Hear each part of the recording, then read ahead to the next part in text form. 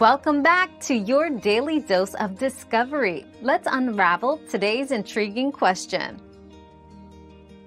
The time to receive a six-digit verification code can vary, but typically, you should expect it within a few minutes.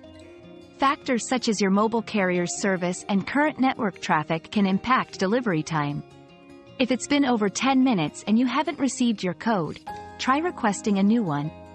Also, ensure your phone isn't on Do Not Disturb mode and check your spam or junk folder if the code was sent via email. Contacting customer support is recommended if repeated attempts fail. Another mystery solved, but many more await. Keep up with our daily discoveries by subscribing and turning on notifications.